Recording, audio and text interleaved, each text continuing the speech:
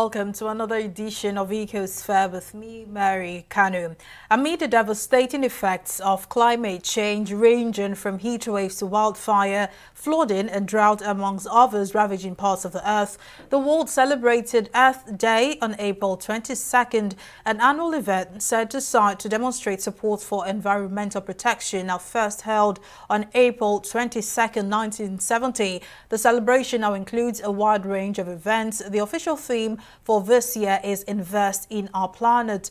The United Nations Secretary General Antonio Guterres, in a message to commemorate World Earth Day, called on everyone to raise their voices to demand that leaders make peace with nature. Well, Guterres, in his message, said humanity is waging a relentless war on nature and these actions are causing biodiversity to collapse. Now, do take a listen. On International Mother Earth Day, we reflect on humanity's most important relationship, our relationship with the natural world. From the air we breathe, to the water we drink, to the soil that grows our food, humanity's health depends on the health of Mother Earth. Yet, we seem hell-bent on destruction. Our actions are laying waste to forests, jungles, farmland, wetlands, oceans, coral reefs, rivers, seas and lakes. Biodiversity is collapsing as one million species teeter on the brink of extinction. We must end these relentless and senseless wars on nature. We have the tools, the knowledge, and the solutions. But we must pick up the pace.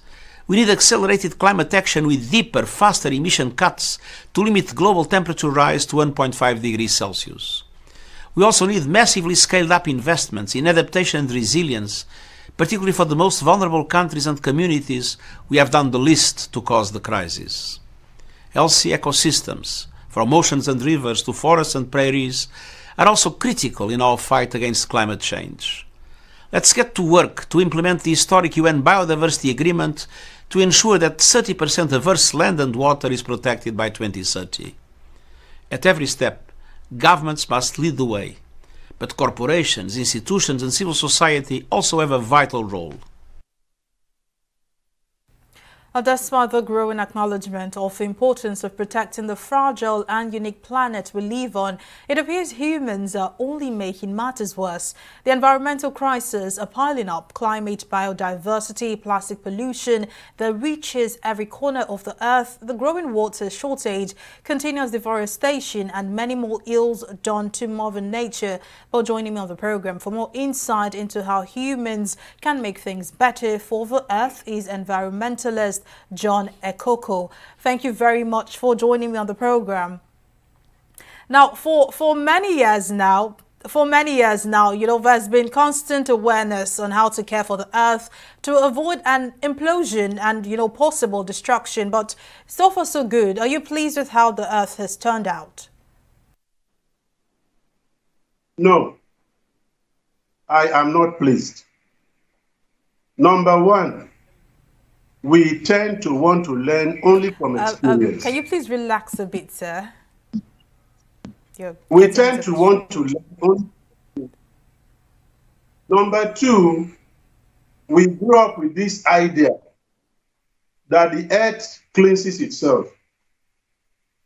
So we had some wasteful and harmful practices from the past that are still prevalent. We have the habit of dumping, particularly in developed countries. We, we have the habit of, um, how do I put it now? All the, okay, we have waste dump, we have unregulated production, that causes contamination and pollution. We have slum dwelling with the runoff effect, water runoff. We have so many bad practices. The dumping is not only on land, also on water. I don't even know which one is worse. We have blood drainages everywhere. But at the same time, whenever there is an implosion, whenever there is a breakdown, we all sit up and say, ah, no, we are beginning to threaten the earth, we should do something. We do not need to wait until the system collapses. There's erosion everywhere. There's flooding everywhere. There's desertification everywhere. Of course, the um, ozone problem is there. The uh, rising sea level is there. Must we wait until the whole coastland areas are overrun by water before we know we, we, we can do something about them? We have not done enough. And I'm sure you'll agree with me. Up till today, if you are going on the road, you still see people throwing waste out of their cars onto the road. You still see construction blocking water marked areas. You still see crowded settlements with a lot of cement work. Of course, about manufacturing, do I need to talk about it? With the effort of our uh, environmental protection agencies, there's still a lot of pollution going on in our manufacturing sector, even though it is a very small part of the economy. There's, there is still a lot that needs to be done. And if you give me the chance, I will tell you. We need to up our standards, our environmental standards. We need to enforce our rules. If we enforce the rules and people see it, old habits will begin to change. NESREA, state environmental protection agencies, all of them, they are supposed to be monitoring compliance with relevant environmental laws and uh, standards. They can do more. The waste management agencies should not see themselves as government. They should see themselves as a business and sell themselves to the citizens as customers. One thing too, our level of environmental knowledge is very low. I, I, know you serve as a lot of pollution, you know, but, you know, more and more people are talking about the earth and its depletion. And, you know, this helps to create awareness. I don't know if you agree with this, but how do we get people to understand what environmental issues are? Because not everyone understands what global warming means or ozone layer depletion. So how do we get people invested? Yeah, I said it before. Let me say it again all over the world, the state authorities set standards, they make laws, and they enforce the laws. Our main problem here, we do not enforce the law. We are talking of harmony with nature. What sort of harmony can you have in a rapacious relationship when one person is raping the other? I mentioned our manufacturing um, sector. They still carry out a lot of pollution and contamination. So the question is, our environmental protection agencies, including NESREA, what type of monitoring are they doing? What type of enforcement are they doing? I don't want to talk uh, too loud, but we all know Money has changed hands, corruption. We have enough laws to make people comply. Number two, we cannot rule out the effect of enlightenment campaigns, whether on radio or on TV or using our local methods, our town criers. The social media is there. Let people see the consequence of continuing with bad behavior, they will change. I'm sure the man in the east facing horrible erosion if he knows that just one little change in his habit, in his attitude, will slow down erosion, he will, he will do it. There's a lot of flooding in the western part of Nigeria, along the river banks also. If you let them know just a little change in their habits, will slow down flooding. Is it not the waste that we throw down the road that we throw down in different places that blocks our drains? Is it not the uh, the shanties and the slums and the overcrowding that causes unpredictable runoff? And don't forget, the effect of runoff is not limited to the land with all the toxic materials that it carries. It goes into the sea. It threatens marine lives. Our fishes. Look at the pollution of the sea and the toxic level. And when we eat the fish from the sea, human life is threatened also. We just have to let people know. If you go by uh, Okoba, you see, a lot of pollution in the water. But I must concede there's some effort being made today to clean up that place a bit. But we can do much more. We have environmental protection agencies for the state and the federal.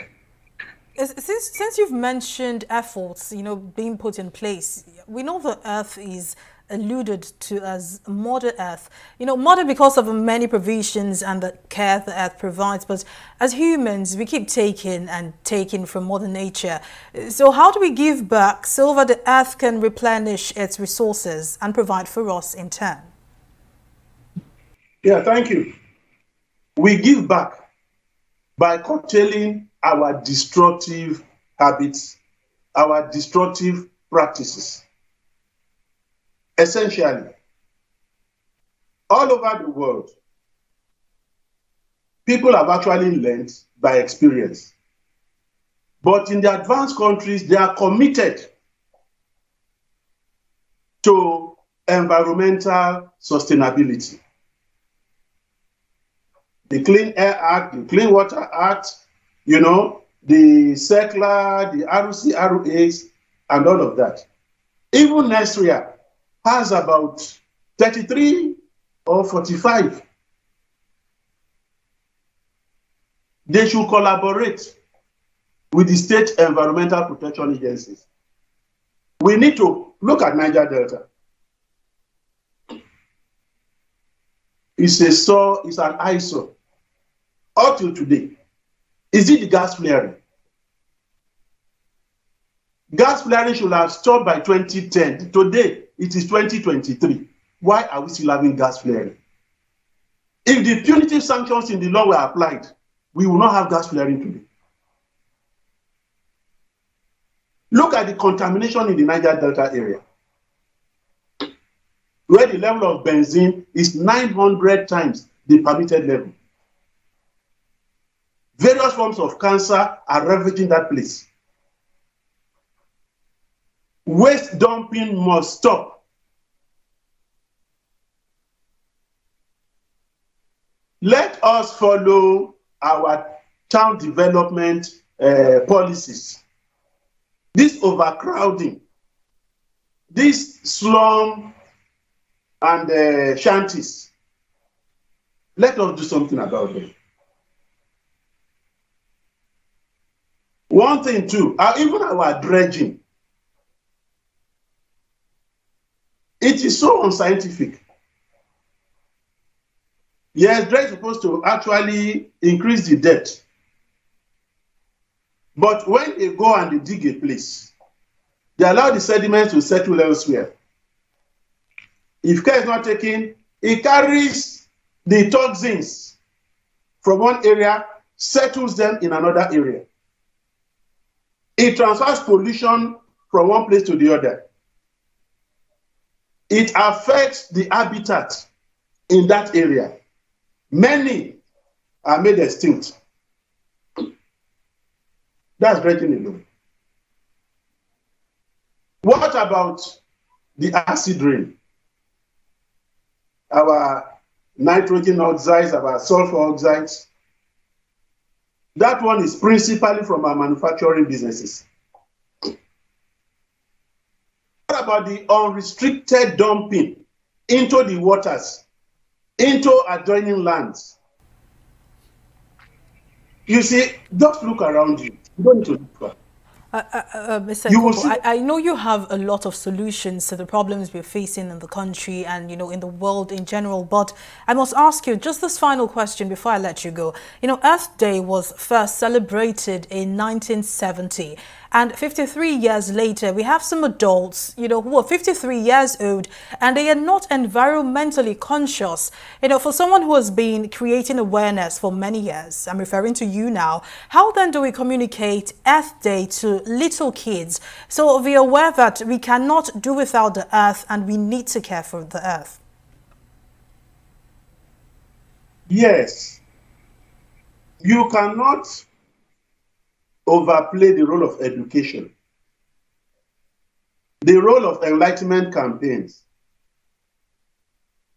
You need slogans both on TV or radio, and particularly now in the social media, to educate not only the kids, everybody.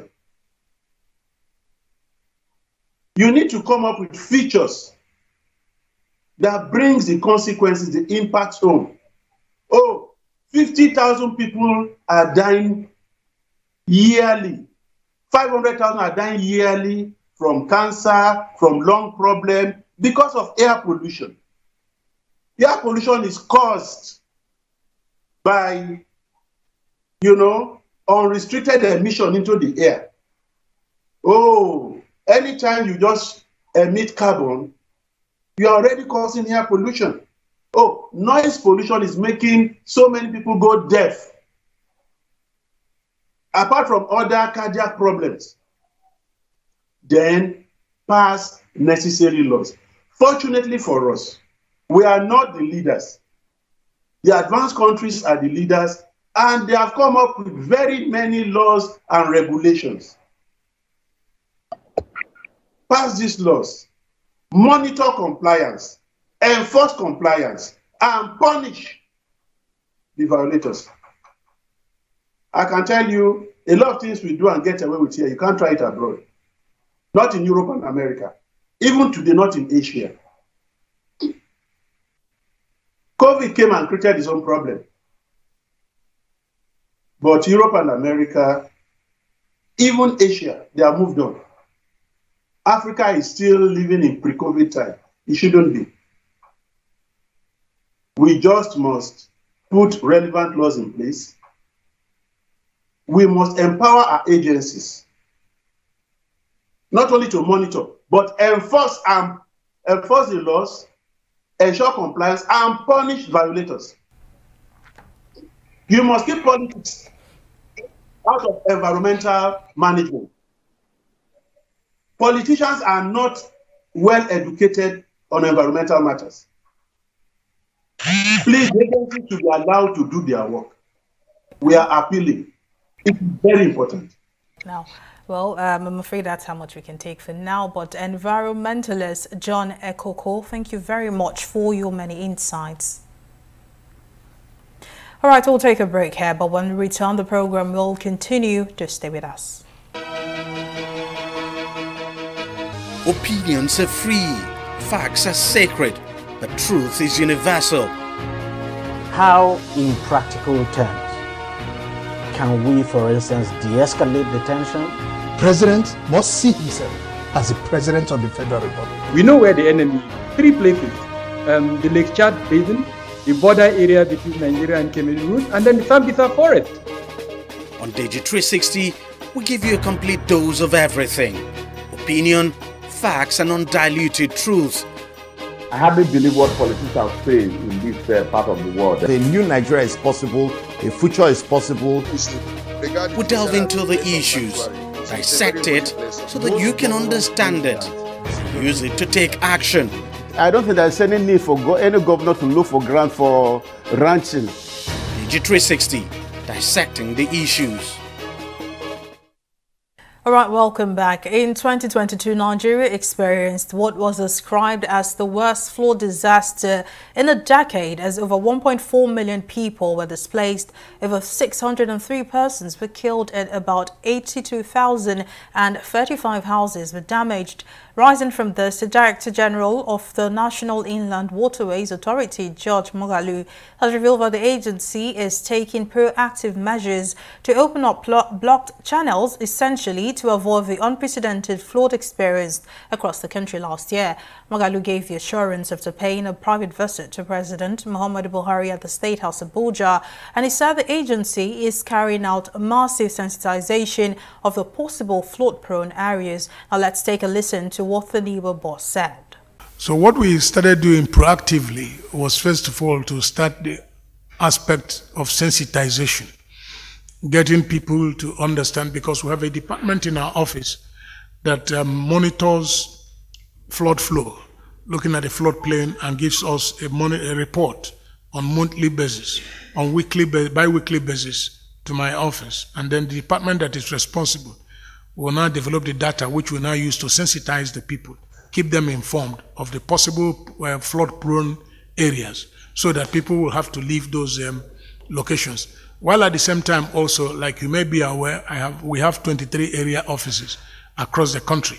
So what we are doing in terms of opening of blocked channels is using the, the, the, the, the area offices across the country identifying those areas that we have blocked channels, and then within the limits of our own resources and capability, we start opening them up so that they can have free flow of, um, of water. Even floating debris are all being removed at various locations across the entire country. As we identify them, we do the basic survey, and once we identify them, we set the process in motion to remove them. We're doing some now as we keep identifying them. And you know, these things like water hyacinth, like wrecks, like floating debris, are not fixed items that you will say, I will remove now and it won't be there again. You can remove a wreck tomorrow, and by next tomorrow, another wreck will come. What are these wrecks? Broken down vessels that are condemned, logs, and what have you. So as we identify them using survey, do identify the coordinates, the next thing we do is to set in motion the process of removing them. As we speak, procurement processes have been concluded and some are being removed, while as we identify, we set in motion the process of removing them. We see them as a challenge and we are attacking them. Well, how best can Nigeria avert another flooding disaster? I'm now joined on the program by Jumoke Omoriha, an environmentalist. Thank you very much for joining me. Now, we know the federal government, you know, has said uh, it is taking proactive measures to avoid another disaster by carrying out sensitization and opening up block channels. But is this really enough to reduce the levels of expected floods in the country? Well, I would say it's not enough, but though it is a good step in the right direction, though it is not enough to stop the, the level of flood in the country. The government needs to do more, and there's more to be done by the government. The government has to take some proactive steps uh, to stop uh, flooding in the country. And what are some of the steps that the, the government needs to take? There should be proper uh, management of land use due to urbanization. there should be proper drainage system, and there should be afforestation and reforestation to, to mitigate the effect of climate change the construction of an embankment and floodplain wall should also be there to reduce the impact of flood in the country. Expanding of the channels, the silting of drains, proper waste uh, disposal uh, methods, and prohibiting building on floodplains. These are some of the uh, proactive steps that the government needs to put in place. It's not just expanding the channels that will reduce the flood, though it's a right step in yeah, it's a good step in the right uh, direction, but that's not enough to reduce flood. Oh, all right. You. Now, with, with, these mitigation methods that you've mentioned, you witnessed the levels of floods and, you know, the destruction that took place in 2022. If these mitigation methods are put in place, do you see Nigeria not recording any losses at all this year to flooding? Uh, well, well, I would say if the mitigation uh, methods are adequately put in place, it will only reduce the flooding. You you cannot eradicate flood. You can only reduce flood to a minimal level. And that's uh, and and by so doing, you reduce the losses. That's the solution. You, it can only mi minimize it. Some believe global warming and ozone layer depletion are conspiracy theories. And so we see some Nigerians carrying out indiscriminate dumping of waste and you know other activities that affect the environment and in turn the earth. So would you agree with an enforcement of laws and punishments, you know, just to prevent the recurring issues of blocked channels and drainages? Yes there should be punishment, there should be enforcement of laws. Nobody is above the law. If you pollute the environment, you need to be punished. And that is the polluter pay principle. You need to pay for your pollution. And there's this widespread uh, concern that the ozone layer is being uh, depleted. Nigeria is facing, we are facing serious uh, global uh, uh, uh, pro problem due to the depletion of the ozone layer causing uh, uh, global warming and climate change. Most of the uh, flooding we have in Nigeria is as a result of human activities that we call an anthropogenic causes. It's due to our careless attitude. We, we, we have a lot to do in the environment. We have a role to play in the environment. The Mother Earth revolves because of our attitude.